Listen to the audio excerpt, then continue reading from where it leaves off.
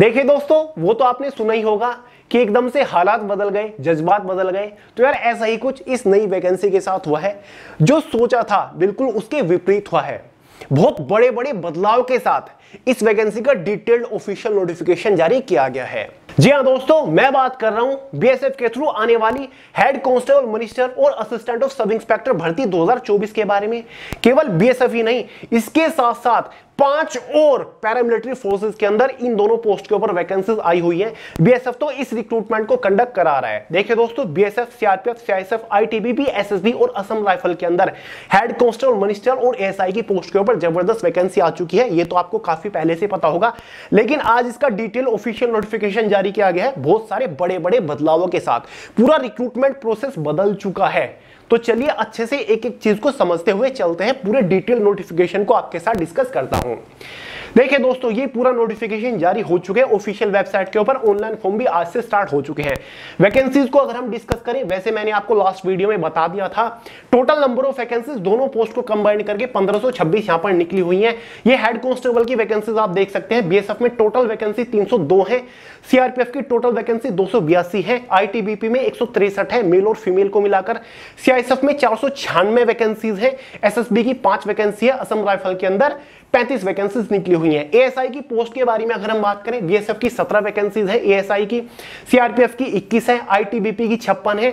CISF की 146 और SSB की तीन वैकेंसीज यहाँ पर निकली हुई हैं। देखिए दोस्तों ऑनलाइन फॉर्म इसके आज से यानी कि 9 जून 2024 से स्टार्ट हो चुके हैं। फॉर्म की जो लास्ट डेट है, वो आठ जुलाई 2024 रखी गई है। बात कर लेते हैं फॉर्म फ़ीस वगैरह के बारे में। जनरल ओबीसी ईडब्ल्यूएस कैटेगरी वालों के लिए सौ रुपए फॉर्म फ़ीस चार्ज किए गए हैं। बाकी एस टी पीएच और फीमेल कैंडिडेट्स के यहाँ पर कोई भी फॉर्म फ़ीस चार्ज नहीं किए गए हैं। अब बात करेंगे भाई, सबसे पहले एलिजिबिलिटी क्राइटेरिया के बारे में, उसके बाद सिलेक्शन प्रोसीजर को डिस्कस करेंगे। एज मिट के बारे में बात करें तो वही 18 से 25 साल है, लेकिन जो आपकी एज कैलकुलेट हो रही है, वो फ़र्स्ट ऑफ़ अगस्त टू तक हो रही है, जो कि काफ़ी बढ़िया बात है। बाकी ओबीसी कैटेगरी के कैंडिडेट्स को तीन साल का एज में रिलैक्सेशन मिल जाएगा एस वाल को पाँच साल का एज के अंदर रिलैक्सेशन देखने को मिल रहा है। एजुकेशन क्वालिफिकेशन में वही ट्वेल्थ पास मांगा गया है, दोनों ही पोस्ट के लिए एजुकेशन क्वालिफिकेशन भी आपकी एज ऑन फ़र्स्ट ऑफ़ अगस्त 2024 तक कैलकुलेट होने वाली है। अब फाइनली बात करेंगे सिलेक्शन प्रोसीजर के बारे में। जब आप इस वैकेंसी के लिए ऑनलाइन फॉर्म अप्लाई कर दोगे फाइनल सिलेक्शन लेने तक किस किस स्टेज से होकर गुजरना पड़ेगा? देखिए दोस्तों, इसका जो सिलेक्शन प्रोसीजर है, वो तीन स्टेजेस के ऊपर टिका है। स्टेज फ़र्स्ट में आपका फ़िज़िकल स्टैंडर्ड टेस्ट और फ़िज़िकल इफिशियंसी टेस्ट कंडक्ट कराया जाएगा। फ़िज़िकल स्टैंडर्ड टेस्ट उसको बोलते हैं, जिसमें आपकी मेज़रमेंट होती है हाइट वेट चेस्ट होता है। इफिशियंसी टेस्ट उसको बोलते हैं, जिसमें आपकी रनिंग वगैरह होती है। क्लियर है। तो भाई पहले इसमें फ़िज़िकल टेस्ट होगा आइडिया लगाया जा रहा था कि पहले एग्ज़ाम कंडक्ट कराया जाएगा, लेकिन नहीं, पहले फ़िज़िकल टेस्ट ही होगा। सेकंड स्टेज में आपका कंप्यूटर बेस्ड टेस्ट रखा गया और पूरी तरीके से ऑनलाइन एग्ज़ाम कंडक्ट कराया जाएगा ऑफलाइन ओएमआर बेस्ड एग्ज़ाम नहीं है। स्टेज थर्ड में आपका स्किल टेस्ट होगा, उसी के साथ डॉक्यूमेंट वेरिफिकेशन होगा और उसी के साथ सेम डे पर आपका मेडिकल एग्जामिनेशन कंडक्ट कराया जाएगा। तो कितने बड़े बड़े बदलाव किए गए? पहली स्टेज फ़िज़िकल टेस्ट की हो गई, फिर आपका ऑनलाइन एग्ज़ाम है और तीसरे नंबर पर सारी चीज़ें एक साथ कंडक्ट कराए जाएँगे। क्लियर है? देखिए दोस्तों, अगर आप दोनों पोस्ट को लेकर इंटरेस्टेड है। दोनों पोस्ट के लिए आप इलिजिबल है तो दोनों पोस्ट के लिए फॉर्म भी आप अप्लाई कर सकते हो। फॉर्म आपको अलग अलग अप्लाई करना पड़ेगा। दोनों पोस्ट का सिलेक्शन प्रोसीजर भी अलग अलग चलेगा। हालाँकि सिलेक्शन प्रोसीजर ऑलमोस्ट सेम है। फ़िज़िकल स्टैंडर्ड टेस्ट बिल्कुल सेम है एग्ज़ाम आपका बिल्कुल सेम है सिलेबस आपका बिल्कुल सेम है, बस स्किल टेस्ट में डिफरेंस है, क्योंकि एएसआई की थोड़ी सी हाई लेवल की पोस्ट है। अब फाइनली बात करेंगे फ़िज़िकल टेस्ट में आपका क्या क्या होगा। फ़िज़िकल स्टैंडर्ड टेस्ट ही देख लीजिए। सबसे पहले हाइट वेट चेस्ट देख लीजिए। मेल कैंडिडेट की इसमें जो हाइट रखी गई है जनरल ओबीसी एससी कैटेगरी की एक सेंटीमीटर है। मेल कैंडिडेट की जनरल ओबीसी एससी कैटेगरी की जो चेस्ट है मिनिमम 77 सेंटीमीटर है। आफ्टर एक्सपेंशन बयासी सेंटीमीटर होनी चाहिए। मेल कैंडिडेट जो स्पेशल कैटेगरी से बिलोंग करते हैं या फिर एसटी कैटेगरी से बिलोंग करते हैं, उनकी हाइट एक सेंटीमीटर है चेस्ट वही 77 टू 82 सेंटीमीटर रखी गई है। क्लियर है? बाकी अदर जो रिज़र्व कैटेगरी है, उनको एज में रिलैक्सेशन है। फीमेल कैंडिडेट्स की हाइट देख लीजिए, एक सेंटीमीटर यहाँ पर है, और बाकी की जो अदर रिज़र्व कैटेगरी की फीमेल कैंडिडेट्स है, उनकी 150 सेंटीमीटर यहाँ पर हाइट रखी गई है।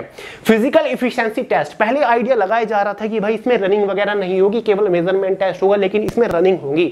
रनिंग कितनी है? मेल कैंडिडेट्स के लिए 1600 मीटर की रनिंग रखी गई है, जो कि आपको 6 मिनट 30 सेकंड के अंदर क्वालिफाई करनी है। वहीं पर फीमेल कैंडिडेट्स के लिए जो रनिंग रखी गई है, वो 800 मीटर की है, जो कि आपको 4 मिनट 45 सेकंड के अंदर क्वालिफाई करनी है। तो भाई, इसमें दौड़ आपकी होगी, इस चीज़ का ध्यान रखिएगा, दोनों कैटेगरी की मैंने बता दी। ये आपका पूरा फ़िज़िकल टेस्ट है, इसके अलावा और कुछ भी नहीं होगा, और फ़िज़िकल टेस्ट आपका क्वालिफाइंग नेचर है, कोई भी एक्स्ट्रा एडिशनल मार्क आपको नहीं दिया जाएगा। क्लियर है? फ़िज़िकल टेस्ट क्वालिफाई करने के बाद आपको सेकंड स्टेज के लिए बुलाया जाएगा, जिसमें आपका एग्ज़ाम कंडक्ट कराया जाएगा। एग्ज़ाम आपका सेम एज इट इज़ वही है, जो कि मैंने आपको कल वाली वीडियो में बताया था। पहले पहला सब्जेक्ट आपका हिंदी या फिर इंग्लिश रहेगा, जो कि एक ऑप्शनल है, या तो आप हिंदी के क्वेश्चन सोल्व कर लो या फिर इंग्लिश के सोल्व कर लो। 20 क्वेश्चन 20 नंबर के अंदर, फिर आपका रीजनिंग आएगा 20 क्वेश्चन 20 नंबर के अंदर न्यूमेरिकल एप्टीट्यूड आएगा 20 क्वेश्चन 20 नंबर के अंदर क्लैरिकल एप्टीट्यूड आएगा 20 का नंबर 20 क्वेश्चन 20 नंबर के अंदर। बहुत सारे लोग क्लैरिकल एप्टीट्यूड को लेकर कंफ्यूजन में है, बच्चों का खेल होता है। दोस्तों सिलेबस आपको प्रोवाइड करा के जाऊँगा, किस टाइप के क्वेश्चन पूछे जाते हैं आपको बता के जाऊँगा।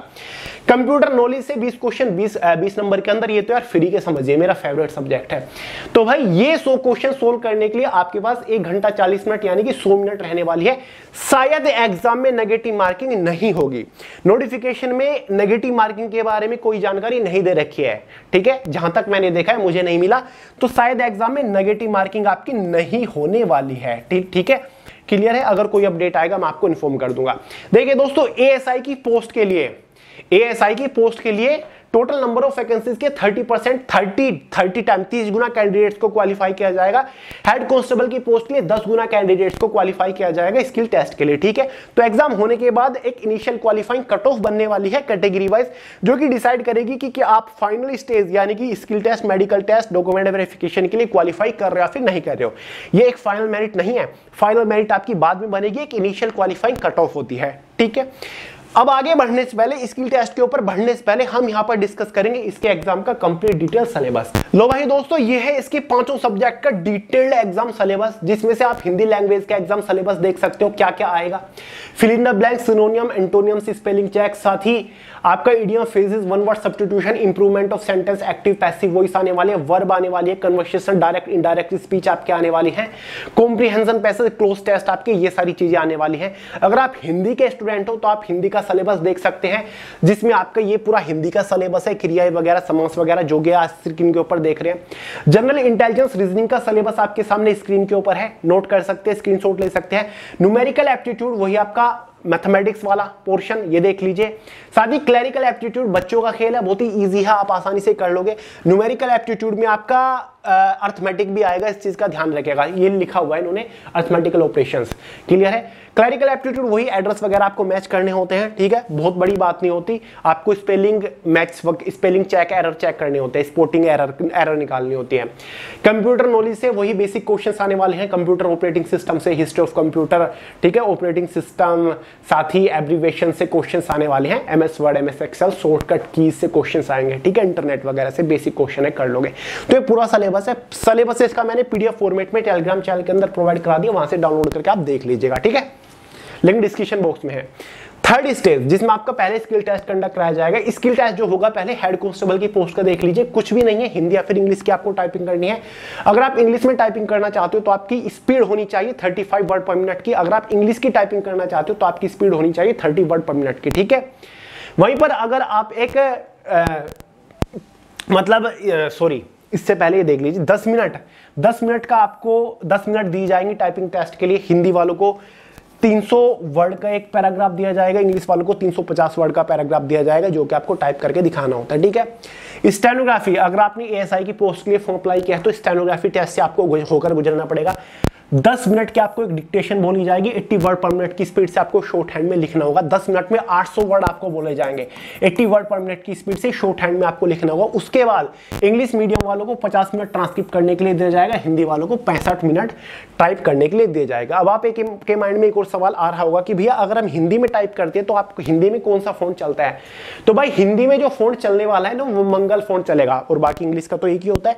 तो हिंदी में मंगल फ़ोन आपका यहाँ पर चलने वाला है। और एक होता है रेमिंटन गेल, उसके ऊपर फोकस करेगा, ठीक है? मिस्टेक्स की अगर हम बात करें तो पाँच परसेंट मिस्टेक्स की, पाँच परसेंट स्पेलिंग्स की आपकी छूट है। यानी कि पाँच परसेंट हो जाता है आठ सौ वर्ड का चालीस लगभग। यानी कि चालीस वर्ड अगर आपने गलती कर दी है शॉर्ट हैंड में ट्रांसक्रिप्ट करने में तो उसकी छूट है, आप तब भी क्वालिफाई कर जाओगे। क्लियर है? तो भाई, ये आपका पूरा स्किल टेस्ट आने वाला है। स्किल टेस्ट दोनों पोस्ट का क्वालिफाइंग नेचर होगा। कोई भी आपको एक्स्ट्रा एडिशनल मार्क नहीं दिए जाएँगे। अगर आपको फ़िलहाल टाइपिंग टेस्ट टाइपिंग या फिर स्टेनोग्राफी नहीं आती, फिर भी आप अप्लाई कर सकते हो। क्योंकि पहले आपका इसमें फ़िज़िकल टेस्ट होगा, फिर आपका एग्ज़ाम होगा, तब जाके आपका स्किल टेस्ट कंडक्ट कराया जाएगा। देखिए दोस्तों सेम डे पर आपका डॉक्यूमेंट वेरिफिकेशन भी होने वाला है, ठीक है? ठीक है? आपका मेडिकल डॉक्यूमेंट आपको सभी अपने ओरिजिनल डॉक्यूमेंट वेरीफाई कराने होंगे। साथ ही सभी डॉक्यूमेंट की एक एक फोटोकॉपी सेल्फ टेस्टेड करके आपको सबमिट करानी होगी। सभी डॉक्यूमेंट आपके कुछ इस तरीके से साथ ही आपका मेडिकल टेस्ट होगा, जिसमें आपकी आई साइट सबसे इंपॉर्टेंट होती है। Six by six better eye आपको होनी चाहिए। साथ ही कलर ब्लाइंडनेस टेस्ट आपके इसमें होते हैं। टैटू वगैरह की लोकेशंस देखी जाती हैं। ठीक है? टैटू का साइज़ वन बाई फोर तक है, अगर इससे नीचे है तो आप क्वालिफाई कर जाओगे, ज़्यादा आपका नहीं होना चाहिए, ठीक है? टैटू का कंटेंट क्या है, वो भी मैटर करता है, कौन सा चलेगा? अगर आप रिमूव करा लेते हो टैटू को तो आप क्वालिफाई कर जाओगे आपको रिमेडिकल मिल जाता है और अगर टैटू दिक्कत कर रहा है तो आप उसको रिमूव करा सकते हैं, आपको टाइम मिल जाता है, ठीक है? आपको रिमेडिकल मिलता है, ऐसे नहीं कि आपको डिस्कालीफाई किया जाता है तुरंत के तुरंत, ठीक है? तो भाई आपका मेडिकल टेस्ट तो थर्ड स्टेज पूरी क्वालिफाइंग नेचर आपको कोई भी एक्स्ट्रा एडिशनल मार्क नहीं दिए जाएँगे. थर्ड स्टेज को क्वालिफाई करने के बाद बारी आती है फाइनल सिलेक्शन की. फाइनल सिलेक्शन केवल और केवल एग्ज़ाम के मार्क्स के बेसिस पर होगा. एग्ज़ाम कितने नंबर का था? आपका सौ नंबर का था. तो सौ नंबर में से एक फाइनल मेरिट बनेगी और ये मेरिट आपकी कैटेगरी वाइज तो रहेंगी, साथ ही फोर्स वाइज भी रहने वाली है। मतलब CRPF general OBC ST SC की अलग रहेगी BSF general OBC ST SC EWS की अलग रहेगी CISF general OBC ST SC की अलग रहेगी। जिस भी फोर्स की कट ऑफ़ को आप क्वालिफाई कर रहे होंगे फाइनली उसी फोर्स के अंदर आपको पोस्टिंग दी जाएगी।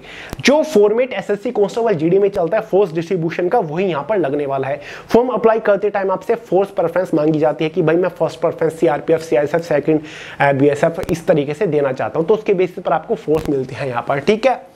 तो एक साथ आप सभी पोस्ट को क्वालिफाई भी कर सकते हो अगर आपके अच्छे मार्क्स हैं।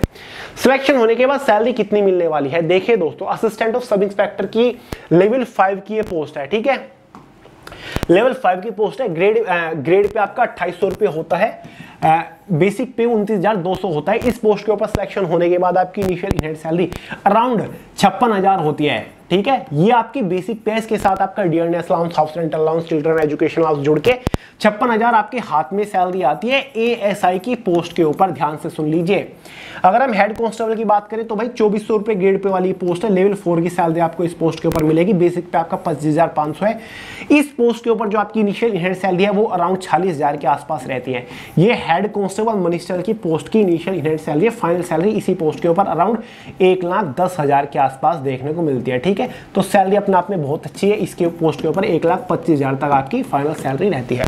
ठीक है? तो सैलरी के कोई भी प्रॉब्लम नहीं है। सैलरी बहुत बढ़िया है। वहीं पर एग्ज़ाम सेंटर्स आपको ऑल ओवर इंडिया के अंदर देखने को मिल जाएँगे। जब आप इसको ऑनलाइन फॉर्म अप्लाई कर रहे होंगे, आपके पास एक ऑप्शन रहेगा, जहाँ पर आप अपनी चॉइस के अकॉर्डिंग एग्ज़ाम सेंटर को प्रेफरेंस दे सकते हो। ऑल ओवर इंडिया के अंदर एग्ज़ाम सेंटर है। फ़िज़िकल सेंटर्स भी आपको ऑल ओवर इंडिया के अंदर मिल जाएँगे। आपको अपने होम स्टेट में एग्ज़ाम सेंटर मिल जाएगा। जॉब लोकेशन आपको पता ही है दोस्तों फोर्सेज है जिस फोर्स की पोस्टिंग ज़िम्मेदारी जहाँ होती है, वहीं पर आपकी जॉब लोकेशन रहने वाली है ऑल ओवर इंडिया के अंदर आपकी जॉब लोकेशन रहने वाली है, ठीक है? बाकी दोस्तों, बात करें प्रमोशन अपॉर्चुनिटी की हेड कांस्टेबल की पोस्ट से आप एसआई की पोस्ट के ऊपर पहुँच जाते हो एसआई की पोस्ट से आप एसआई की पोस्ट तक पहुँच जाते हो। बाकी दोस्तों, इस वैकेंसी का कंप्लीट डिटेल्ड ऑफिशियल नोटिफिकेशन आपको वीडियो सक्सेस टेलीग्राम चैनल के अंदर मिल जाएगा। फॉर्म अप्लाई करने का लिंक इसी वीडियो के नीचे डिस्क्रिप्शन बॉक्स में मिल जाएगा। फटाफट अप्लाई कर दीजिए। नेक्स्ट वीडियो बेस्ट बुक के रिगार्डिंग लेकर आऊँगा। कौन सी बुक से आपको प्रिपरेशन करनी चाहिए ताकि आप इस एग्ज़ाम को घर बैठे क्रैक कर सको। अगर कोई डाउट बन रहा हो ना, बिंदास कमेंट करके पूछेगा। अगर बहुत सारे लोग के मेजर डाउट्स हैं तो उनको एक सेपरेट डिटेल वीडियो में कवर करा दूँगा, चिंता मत करिए। बाकी एग्ज़ाम को क्रैक करने की स्ट्रेटजी भी आपके साथ लेकर आऊँगा। फ़िज़िकल टेस्ट का प्रोसीजर क्या रहता है, अगर आप चाहो तो उसके रिगार्डिंग भी एक फुल डिटेल वीडियो लेकर आ जाऊँगा। क्लियर है? तो चलिए दोस्तों, इस वीडियो में इतना ही था। पसंद आई हो लाइक करेगा दोस्तों के साथ शेयर करेगा चैनल को सब्सक्राइब करना मत भूलिएगा। मिलते अगली वीडियो में। बहुत ही जल्द, तब तक के लिए जय हिंद।